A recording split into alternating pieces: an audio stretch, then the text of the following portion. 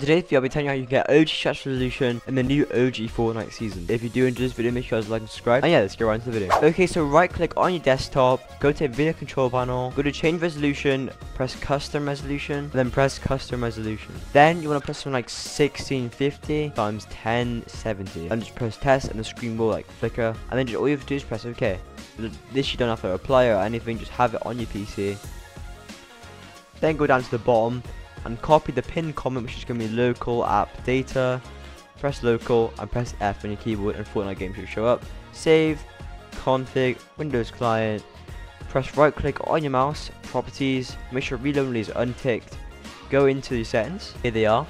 And you want to scroll down so you can find your resolution. Okay, and here's your resolutions up here. So you just want to switch it obviously to the resolution that you want. So for example, I'm just going to put 1650 times 1070. That's literally what I put on my Nvidia. So yeah, just put your resolution that you put on your Nvidia. And you can copy mine if you want to. Yeah, this is what it should look like. Just put obviously your first resolution and the second one below it. And that, all you want to do is come to File and click Save.